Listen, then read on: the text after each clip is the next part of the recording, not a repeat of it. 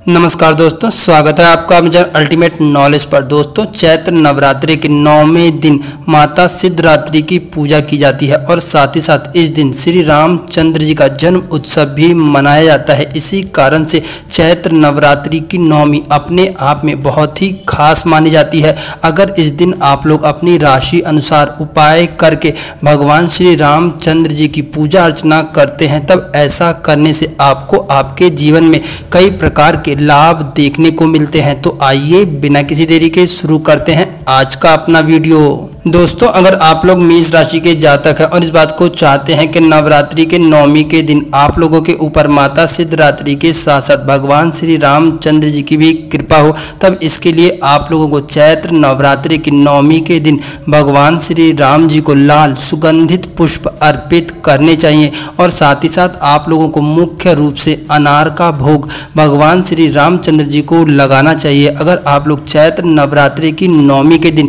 इस उपाय को करते हैं, तब ऐसा करने से निश्चित तौर पर आपके जीवन में कई तरह की खुशियाँ आकर्षित होती है। ज्योतिष अनुसार मेष राशि वालों के लिए यह उपाय बहुत ही कारगर सिद्ध होता है। अगर मेष राशि के जातक इस उपाय को करते हैं, तब ऐसा करने से उनके रुके हुए काम अपने आप ही बनने लगते हैं।